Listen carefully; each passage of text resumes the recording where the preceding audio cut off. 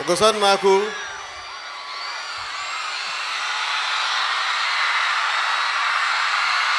ఓటమికి గురైనప్పుడు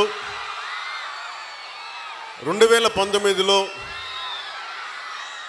చిత్తుగా ఓడిపోయినప్పుడు నేను రెండు చోట్ల ఓడిపోయినప్పుడు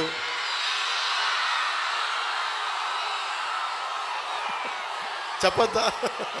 ఓడిపోలేదా? నాకు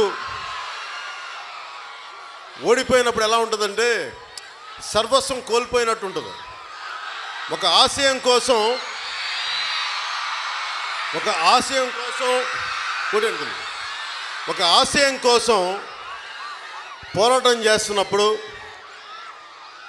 ఓటమి ఉంటుంది గెలుపు ఉంటుంది జయాపజయాలు ఉంటాయి విజయాలు ఉంటాయి పరాజయాలు ఉంటాయి ఇవన్నీ తెలుసు.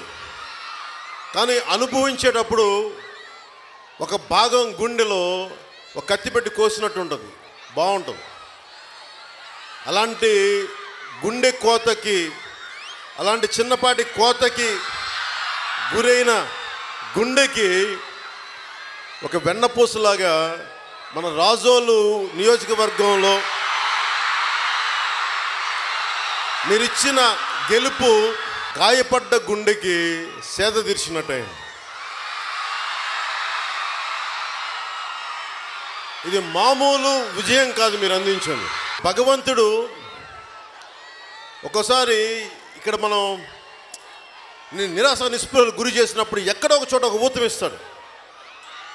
జీవితంలో ఎన్నిసార్లు దెబ్బలు తిన్నా ఎక్కడో ఒక చోట ఒక తల్లి ప్రేమ ఒక స్నేహితుడి పరామర్శం అలాగే రాజకీయాల్లో ఒక చిన్నపాటి విజయం చిన్నపాటి ఉపశమనం నేను రాజోళ్ళు మన జనసేన గెలుపు నాకు అలాంటిది ఇచ్చాడు. ఇన్ని వేల కోట్ల ఉన్నవాళ్ళు రౌడీ మోకలు దౌర్జన్యాలు క్రిమినల్ పొలిటిషియన్స్ పొలిటిక్స్ చేయగలిగే వాళ్ళు వీళ్ళందరినీ తట్టుకుంటూ రాజోల్లో వెలిగించిన ఈ చిరు దివ్య ఈ చిరు దీపం. ఒకరోజు ఆంధ్ర రాష్ట్రంలోనే అఖండ జ్యోతి అయి వెలుగుతుంది. రాజోల్లో మీరు వెలిగించిన ఈ చిరు దీపం రాజంపేట దాకా వెలుగుతుంది.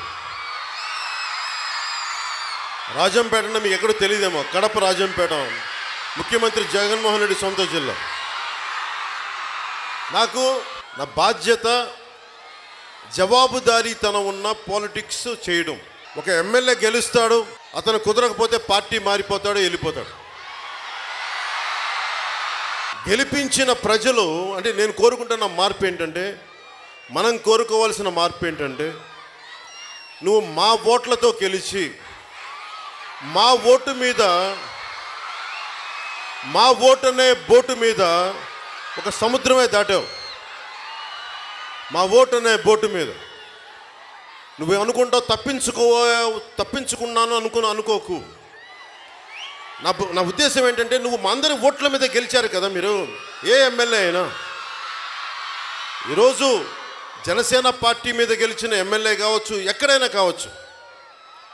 మీరు మా ఓట్ల మీద గెలిచి అందరి సమిష్టి ఓటుతోటి గె- గెలిచి వ్యక్తిగతంగా నిర్ణయం తీసుకుంటానంటే కుదరదు. ప్రజలు అమాయకులు కాదు. ప్రజలు దయచేసి ఏ ఎమ్మెల్యే అయినా సరే ప్రజల్ని never take them for grant తప్పదు. నేను చేస్తున్నది చాలా కష్టసాధ్యమైనది. చాలామంది పార్టీని నడపాలని ప్రయత్నాలు చేశారు. ఎన్నో రకాల ఉద్యమదారులు ఎతికారు. ఎందుకు ఎవరు నిలబడలేకపోయారు? ఒక వేల కోట్లు లక్షల కోట్లు ఉన్న డబ్బున్న వాళ్ళు కూడా చేయలేరు ఒక పార్టీని స్థాపించడం నడపడం అంటే ఒక భావజాలంతో ఉన్న ప్రజానికాన్ని గొలుసు కట్టుగా ఉంచి అందరం ఏకతాటిపై నడవటం. అది అందరి వల్ల సాధ్యం కాదు.